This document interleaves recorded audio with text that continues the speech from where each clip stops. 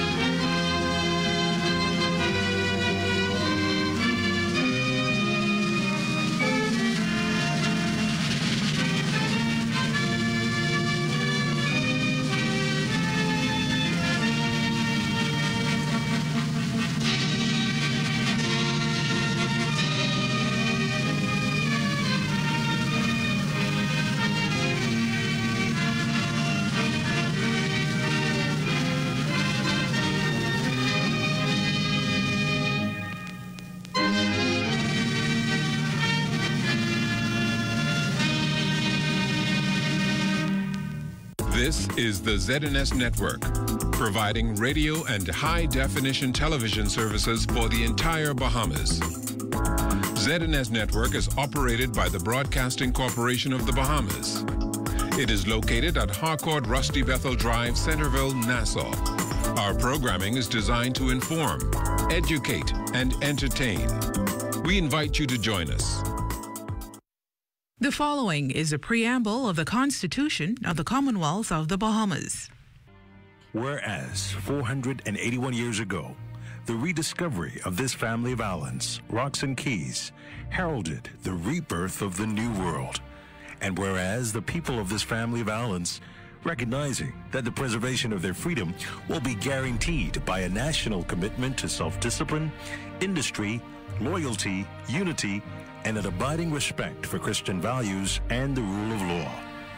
Now, know we therefore, we the inheritors of and successors to this family of islands, recognizing the supremacy of God and believing in the fundamental rights and freedoms of the individual, do hereby proclaim in solemn praise the establishment of a free and democratic sovereign nation founded on spiritual values, and in which no man, woman, or child shall ever be slave or bondsman to anyone or their labor exploited, or their lives frustrated by deprivation, and do hereby provide by these articles for the indivisible unity and creation under God of the Commonwealth of the Bahamas. It's Wednesday, February 16, 2022, and the morning edition is live. On today's show, the Hilton finds a new partner, find out about a leadership initiative at Queens College, a Golden Girl writes a new book, and find out what's on Crystal's plate. So let's start the morning off right.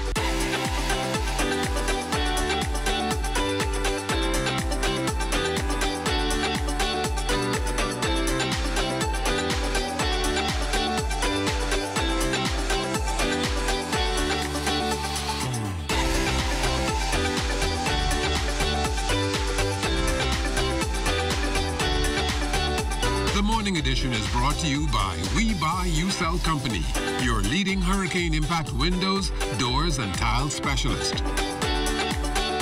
Find your joy and share it with others. Good morning, everyone, and welcome to the morning edition. I'm LaDawn Davis. You know, I'm joyful this morning. Glad to have my little sis back this morning, Yes, LaDawn. yes. Everybody knows me. I'm Charles Fisher. Welcome back, LaDawn. Yes, you look dapper this morning. Thank you, Quite thank you so much. I'm so happy. yeah. I, I, if I might see you walk into the newsroom this Uh-huh. morning, all my back teeth was in my ear, and I just was smiling ear to ear. I hope you're doing well. Mm-hmm. I'm doing hope the well. family is doing well. Glad to doing have you back. I know your viewers are happy to see LaDawn back as well. A lot of persons out there were asking me, when is LaDawn coming back? When is LaDawn Well, I'm coming back. Well, I'm back, LaDawn is back, and she's full of energy and ready to go at it again. Also ready to go at it again this morning is our Crystal Darling. I'm Ah, so lucky to have all the ladies with me this morning. Crystal Darling is out there on the street with our traffic update. Good morning, Crystal.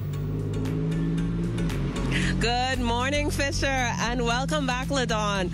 We're here on the intersection of Elizabeth Avenue and Shirley Street, where traffic is starting to pick up for a rather busy Wednesday morning. And this morning, I'm here with Officer Patrick Kemp. Um, Officer Kemp, could you tell us um, what are some advice for motorists in this Shirley Street, Bay Street area? Uh, good morning, Crystal. Good morning, Bahamas. Um, the advice I would give to the persons, especially traveling in this area, is to stay within the speed limit. In the inner city is 25 miles per hour, and um, parking in this area is is a concern, especially for the, the police officers in this area and, and, and, other business owners. I want to say to those persons out there, when you're parking, especially in this area, be mindful, be respectful of person of persons are reserved parking, and when you park, don't cause any hindrance, obstructions to the flow of traffic. And we know that this is also an area that people tend to um, have. We have a lot of pedestrians. Could you you have any advice for pedestrians in this area? Oh, you know what? Pedestrians on the whole, please be mindful that when you are about to cross the street, to look both ways before crossing the street. Um, it's, it's incumbent on you to make sure that you do that for your safety first of all. You know, I had an experience just coming here this morning a person just suddenly jumped out in, the, in front of my vehicle. And of course, I had to maneuver to avoid that person. And that was a scary, that's a scary thing. You know, you don't want to be uh, somebody that would have been a cause or involved in an accident it concerns a pedestrian. So I want to say to pedestrians so that please uh, exercise safety, look both ways before crossing the street, and utilize the, set, the, the sidewalks. A lot of places I'm concerned, you know, you have the sidewalk and they still choose to walk on the street, even exercising. I want to say to you persons out there, please exercise good judgment and common sense. And lastly, we're in front of Princess Margaret Hospital. We know that there are a lot of um, emergency vehicles in this area. The police headquarters is right up the road. Good. What's a reminder for motorists to pay attention to emergency vehicles? Well, when it, especially when it concerns uh, emergency vehicles, please, when you hear the siren and and, you realize that an emergency vehicle that's uh, making a way uh, near you, please pull to the side of the street. It's very important. Persons still refuse to pull to the side of the street. All right, that emergency vehicle could be going to a destination where it could be where it may be concern your relative or friend, and we're trying to get uh, there to save their lives.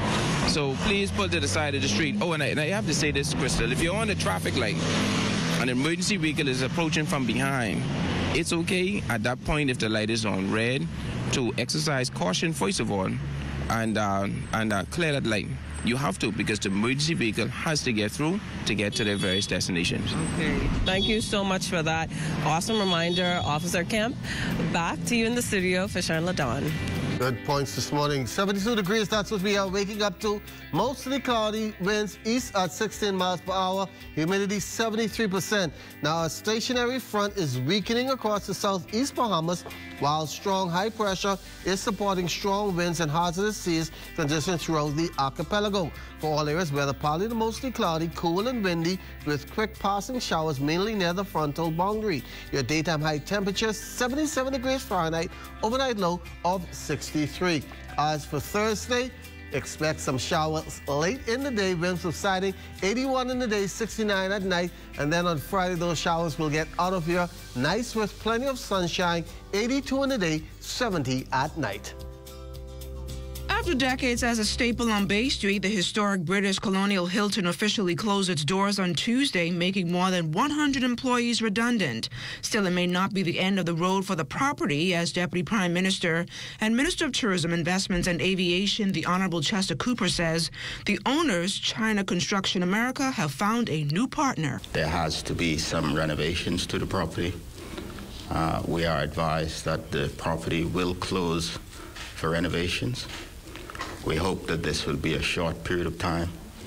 We hope that the staff will be absorbed into the other properties that's owned by CCA, the same developer that owns the Hilton. The Hilton's closure not an automatic blow to the labor force. Now, according to Director of Labor Robert Farquharson, more opportunities have become available following a recent job fair by Sandals. 86 people were hired on the spot, and I can tell you there was an additional 18 people that they did um, um, um, interviews for. Later this month, Agriculture Minister the Honorable Clay Sweeting will lead a high-level de- delegation rather to the World Leadership Panel on Food Security. Discussions at the forum will focus on the ongoing plight of food shortage. Minister Sweeting and his team were invited by the United Arab Emirates, and they are hoping the trip not only strengthens ties between the countries but improves local agriculture. We missed a generation, or possibly two, and we're looking at engaging our young persons and finding newer ways where they're able to not just get engaged in the agricultural sector but become successful farmers. 168 young Bahamians are the newest participants of the Mandatory Workforce Preparatory Program Cohort 19, facilitated by the National Training Agency. The program, which provides youngsters a second chance at learning and developing job readiness skills, is sponsored by the government as a means to develop an educated workforce and decrease unemployment. The government of the Bahamas has invested $500 in each of you. It sounds very little, maybe to you, but look at the state that our country is in. Financially, we're trying to keep our heads above water. And the government has decided that this is important. You are important. With no permanent address to call home, a seemingly growing number of people are becoming homeless, a troubling picture the government is seeking to turn around. Minister of Social Services and Urban Development, the Honorable Obie Wilchcombe, is leading the fight in declaring a war on poverty and is committed to eliminating it. So many have been living on the streets, living in cars, sleeping on beaches, sleeping under the bridge, sleeping in places where you would never want yourself or your parents or your sister or your brother, anyone you know to be sleeping in. The reality is it's gotten there. And this level of poverty, many of us never thought we'd have in our country. But it's here. And it's been caused by numerous situations. But whatever it is, we're not going to look back. The rearview mirror is not in our picture. We're looking forward. 22 new cases of COVID 19 reported in the Ministry of Health's latest release 15 here in New Providence, three over in Grand Bahama, and one apiece in Eleuthera, Exuma, Andros, and Long Island. The cases are evenly split between male and female. Hospitalizations remain at 42, with three in the intensive care unit. There are 119 new recoveries, 6,436 cases are still active.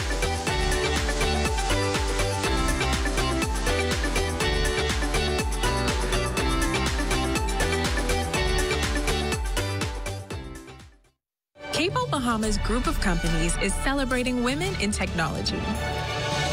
We're taking this opportunity to pause and highlight the leading ladies in information, communication, and technology who are breaking stereotypes and shattering glass ceilings. We hope you'll join us in honoring the tremendous girl power that keeps our community connected.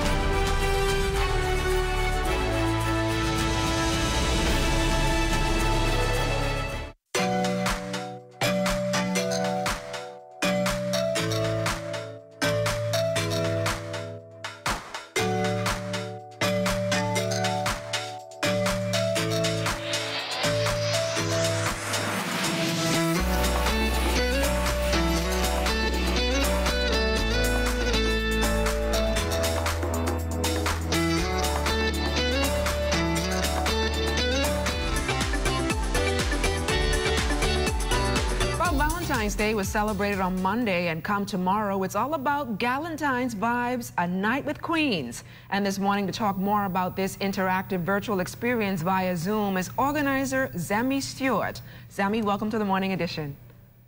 Thank you. Good morning, Bahamas. Now, Zemi, if I'm not mistaken, Galentine's is usually celebrated the day before Valentine's, but you're doing something a bit different this year. Talk to us about the event. Yes, so Valentine's Day is normally the 13th, the day before Valentine's Day, but we, you know, honor couples and we decided to leave the weekend of Valentine's Day sacred. Also, we were competing with the Super Bowl. And so we decided to delay our celebrations a little bit and, and celebrate as a group on the 17th. And how did this event, I guess, all get started? Well, um, about four, well, yeah, four years ago, I started Wife Her Ministry, which stands for Wife Healed, Empowered, Restored. We're a community of women across all marital statuses and who seek to do just that to become her, healed, empowered, restored. And so Galentine's Day is just a way for us to celebrate friendship, sisterhood, community, to have a lighthearted event where you get to meet people of like mind, um, usually faith-based women. So it's a great opportunity to interact with women from all walks of life. When it's virtual, it you know it takes it to another level we have women from the us canada all over the caribbean who are going to be in the room on thursday so it's a great opportunity to meet some women who think like you but may not ne- may not necessarily be in the same location as you and how effective can you say this event has been over the years? Well, our first one was right before the pandemic, literally like February, and it was amazing. Guests had a great time. We had, you know, a lot of um, different um, social media ex- experts in social media. We had health. We had um, th- uh, therapists on, on site. We had a massage. Um, so that was excellent. You know, we love to be able to create great experiences for women. Virtual last year was amazing as well. We had Anastasia Palacios. So during our empowerment segment, live performances. And this year, same thing. So we decided to take it up a notch. We have Miss Chantel O'Brien, our Miss Bahamas Universe, our Miss Universe um, as Bahamians who, you know, is coming to talk about her story um, and also to demonstrate her silk walk and judge a little competition. We have live performances again, an empowerment segment. So I'm just looking forward to it. We do our best. I put so much time and attention into curating and creating experiences that people are going to be remember for a long, long, long, long time. And how important can you say it is for women to celebrate uh, their female friendships?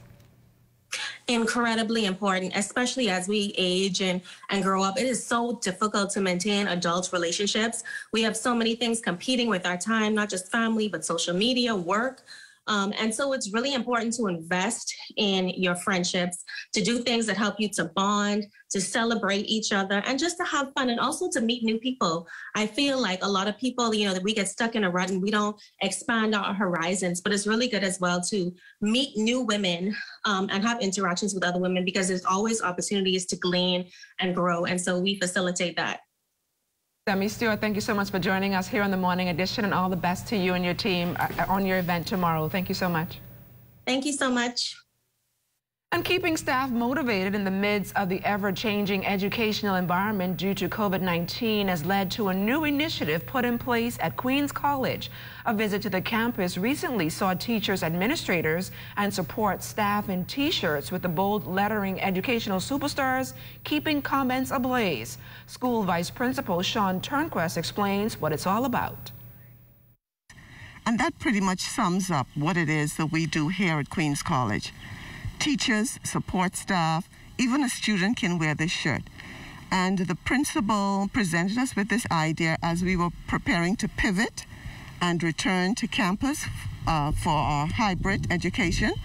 And we embraced it, and everyone is so motivated by it because it speaks to our mission and our statement of purpose. Turnquest also offered words of encouragement to students who recently wrote national examinations. Congratulations to all children throughout the Bahamas who, though faced with challenges, tried their very best, studied, went to their examinations, and made, gave their best effort.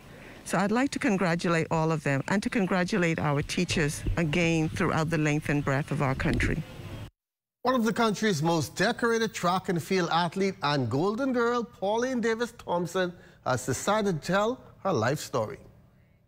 It's about 334 pages and it's, it's 12 chapters. The chapter kind of talk about my beginning. It talk about me going up against Goliath. I try not to want to reveal too much. I kind of want persons to pick up the book and read the book. It's a uh, it's, it, it, it's a good read.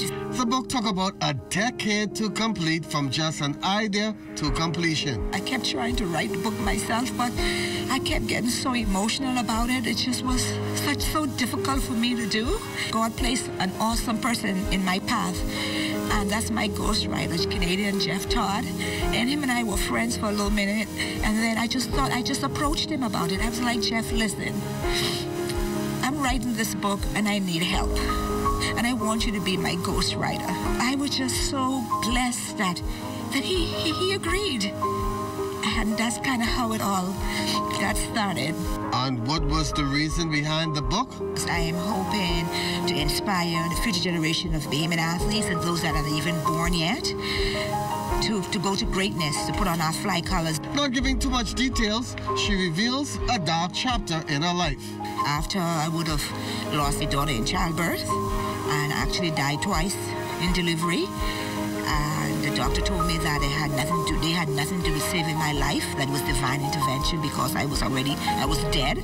Just coming through that was just excruciatingly difficult. When I was a young girl in Baintown, I wasn't expected to be much of anything. And I used to hear some of the coaches at the track say when Coach Brisbane would talk about I'm going to become this really phenomenal athlete how gifted and talented I was. You know, they would say, oh, the only thing they're going to do is have six or seven ch- children for six or seven different men. Just to hear them talk about me in that derogatory term, to think that that's all I was going to amount to is become a mattress for men, was just um, overwhelming as, as, as, a young young athlete. Pauline getting two major endorsements on her book. Lenny Kravitz, uh, boy, I, I, I just feel so blessed. I remember the first time I met him was years ago. I read that endorsement like everyone else that he first saw me at the 1984 Olympics in Los Angeles. I was a high schooler at that time. He said his Bahamian grandfather took him there for him to watch me and the, the other Bahamian athletes. World Athletics also making a major contribution. Lord Sebastian Coe wrote my foreword, and that World Athletics has endorsed my book. And another thing, World Athletics has purchased 450 books that they're gifting to Minister of Education for Bahamian students. That should be a good read. And she also said she was approached by someone, she don't want to say now, that wants to make a movie of her upbringing to Olympic it's and so world inspiring. champion. And she won the silver, the silver and the gold at the, the silver Olympics. and the gold, uh, won mm. the gold after Marion Jones was stripped of the medal. Mm. Uh, 2000, the girls won the 4 by one I, I am not going to say my age, but I was right there. right there to watch that live in person right there in Australia. And every time I talk to Pauline, I, I mm. get a learning, a learning lesson. And I, I, think she needs to do some tours around schools and speak mm. to young ladies and young men and just motivate them. And I think she'll she'll be a good ambassador for did, the. Did, did, she say how long it took for her to actually get the book in motion, or she it was just periodically? A, a long time. She stopped, start, stop, mm. start. It was so emotional. Then she had to find someone to help her with the book. You know, she was busy with other things, but glad it is out now. I'm encouraging Bahamians, everybody go out there and get your copy as soon as it's available. So you're going to get your copy? I'm going to get my copy. All right. I'm going to get my copy. I sit down and read that. and as we head to the break, we take a look back at the day in Bahamian history. On February 16, 1899, long-serving newspaper editor and parliamentarian Etienne Dupuis was born.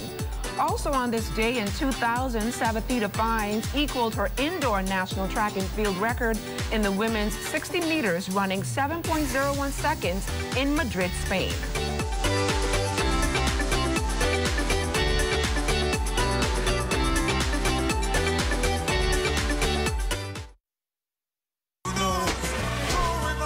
Direct Talk with your host David G goes on the road live in the Turks and Caicos Islands as we celebrate our heritage and culture. Two countries, one people, one chain of islands. Direct Talk live from the Turks and Caicos Islands, partially sponsored by Bahamasair.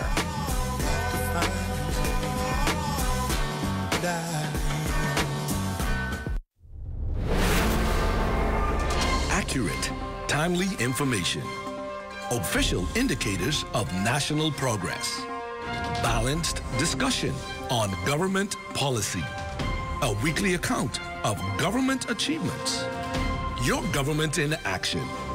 Airing Monday, February 21st at 6 p.m. on ZNS TV 13. A production of Bahamas Information Services, linking people and government.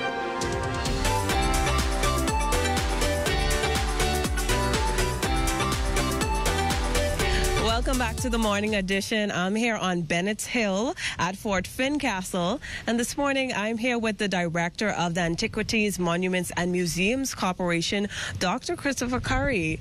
Um, so I understand you have some very excited news about the restoration of the water tower here. Yeah, last week, week we met with uh, the Permanent Secretary for Works, Lester, uh, sorry, Luther Smith, and we are working towards actually getting the uh, water tower reopened. Uh, of course, there's considerable amount of restoration work that has to be done, but this is an iconic site. This is like uh, to Nassau what the Eiffel Tower is to Paris, or what, of course, the Statue of Liberty is to New York. So we want to make sure that this is going to be restored fully and operational, and we want to do it in a timely fashion because we want our visitors and Bahamians to enjoy the wonderful experience of the highest landmark, really, in New Providence. Uh, of course, we know that Gladstone Road has some height and elevation. Of course, Baha Mar as a hotel has some elevation, but this is 126 feet above sea level at the top of the tower.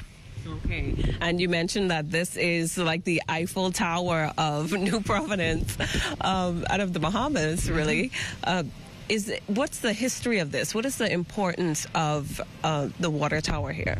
Well, it was built in the 1920s uh, during, you know, the the Roaring Twenties in the Bahamas. This was the age of, of prohibition and rum running, and so it was a spectacular monument at that time. And it actually functioned as sort of like a lighthouse. We know we have the lighthouse on Paradise Island, but because of this elevation and there was lighting at the top, it actually was a beacon uh, drawing ships into the harbor. It also actually stored water, and for a while it provided water supply for the hospital uh, below where you actually filmed earlier today. So this is an excellent site. Now we don't provide water for the hospital anymore, but it's still considered the water tower. And again, it provides probably the most amazing view you'll ever get, being able to see both the harbor side and, of course, the western side and the south side of New Providence from the top. Okay, thank you so much for that, Dr. Curry. Now, I also have here with me Miss Raquel Davis, who's going to give us just a, a little brief. Um, uh, just a little brief talk about the opening of Fort Fincastle that we're expecting. Could you just tell us a little bit about that?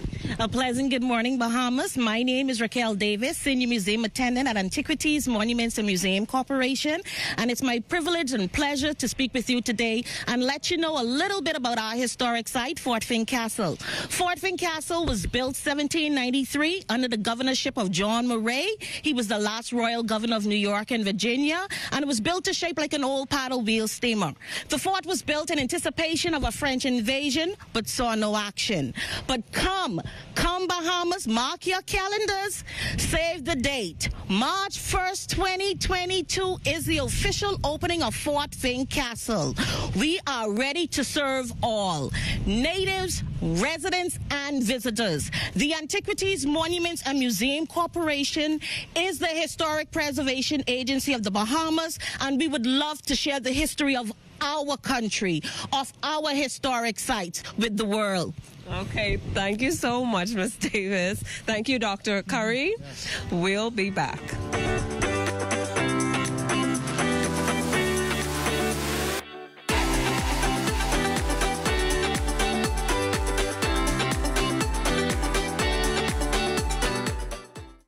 Public service announcement is brought to you by the Communications section of the Ministry of Education and Technical and Vocational Training in conjunction with this channel. When students return to school campuses on January 24, 2022, primary schools will be divided into two groups Aquamarine and Black. Students in Group Aquamarine will attend school for face to face instruction on Mondays and Wednesdays, and Group Black on Tuesdays and Thursdays.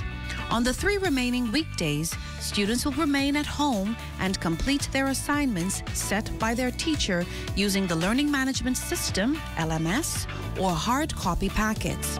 Fridays will be intervention and enrichment day for selected students to attend the school for face to face instruction. For further information, contact your child's school or their Facebook page.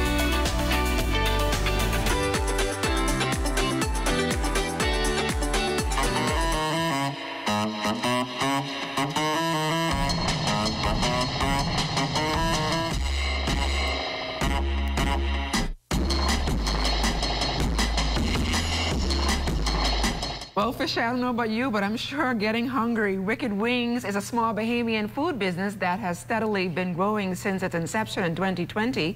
And our Crystal Darling speaks with the owner about how he got his business off the ground during one of the hardest economic eras or eras in recent history we were able to come together and put together a nice menu, nice recipes that we thought Bahamians would like. That's entrepreneur Nathaniel Adams, owner of Wicked Wings, who says after being fired at the height of the COVID 19 pandemic two years ago, he was left searching for a way to provide for his family. How is it that I'm going to, you know, pay bills, keep my kids in school, support my family, support my wife? Like, what what is it that I'm going to do?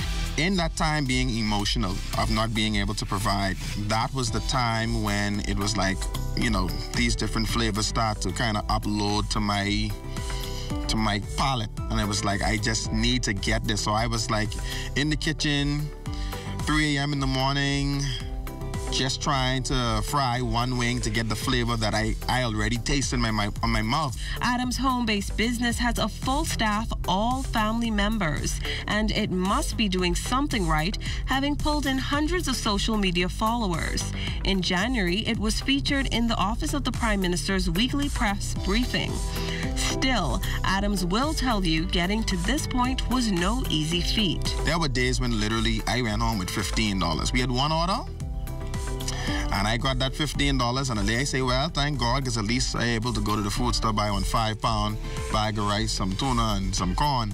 And at least the family would have something to eat, you know. And, you know, sometimes people feel funny to share these kind of stuff, but the reality is that was the reality for many Bahamians, you know. And so to fast forward to this year, this time, to be able to say, you know, the business is doing well enough that we say, hey, look, like we can't do this on our own. Have to hire you know, some other family members um, to, to kind of assist us um, to make the dream happen. So I, I would safely say, ultimately, God is good. Adam says the ultimate goal is to make the brand an international franchise. For now, he's working on owning Wicked Wings food trucks and bottling his homegrown wing sauces. The flavors themselves are grown right in our yard you know and so that that makes me feel good to to be able to say that.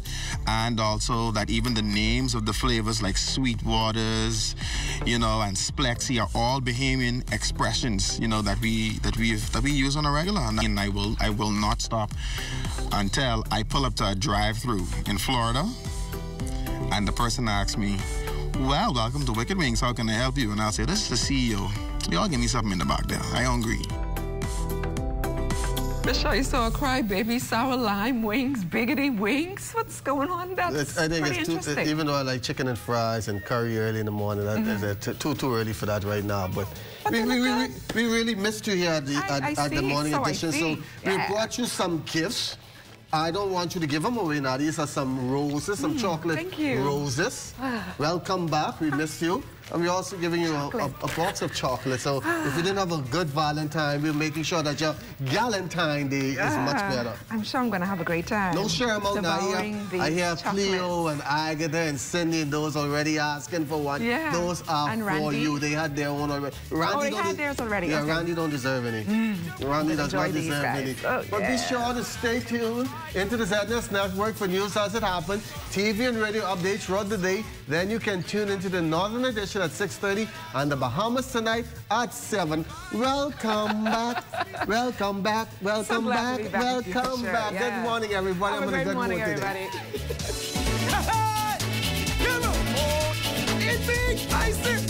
Man, you need to see it.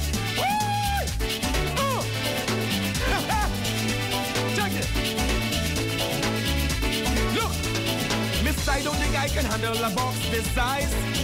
To lift would not be wise. She said, boy, you look like you need the exercise.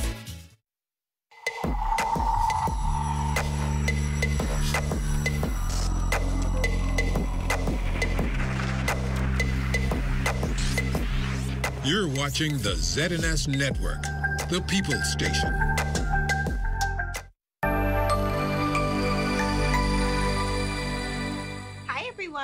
Thank you for joining us for another edition of Let's Chat with Tanya Lightborn.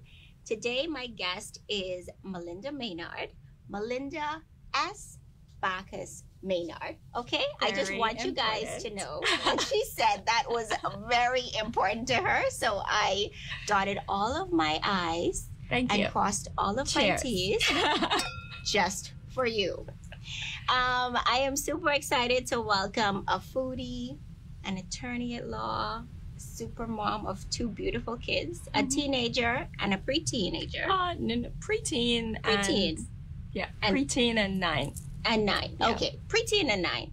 Um, super excited to welcome her. She is a fashionable attorney. That's what I call her. A free spirit, definitely a very much of a liberal thinker. And I'm so happy to have you. Thank you. So glad I we're feel able so special that you invited me. Yay! Looking forward to it. Yeah, I think that you're one of those women we see and we're like, we aspire to be like her. Like look at look at her fashion sense. Look at what she has on. The interview is over. that's that's all. That's all I want people to know. I know, right? Oh my goodness.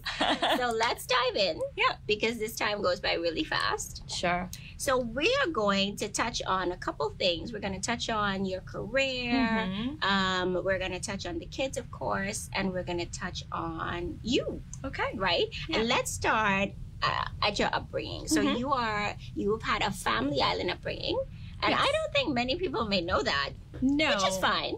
Which no, is fine. a lot of people don't. I think a lot of people, when they see me around, they're like, "Oh, she's from Trinidad or some of the other Caribbean, West West Indian islands." Yeah. Um, but no, I was born and raised in Eleuthera. Um, well, I was born in Nassau, then moved Yeah. to Eleuthera when I was like a week. Yeah. Um, and yeah, I was in Eleuthera until I was 15. Mhm. And then I uh, completed high school in Eleuthera. Then I was at boarding school and then various other degrees. And then moved back, to, moved to Nassau in 2001. Wow. Yeah. But Eleuthera is still my home. Everybody knows me, knows me, knows that I'm a Eleuthera gal. Um, and yeah, that's Knows that always going to be. Bacchus? Yes. Oh, absolutely. Yeah. Absolutely. That's amazing. That's Yeah. amazing. So that's legacy. Yes. I'm big on that. Yes. Like I believe you should create a legacy for your kids Definitely. or continue the legacy. right? Definitely. And um, if I can just say, it's I I think it's um, I like to tell people how I guess my family how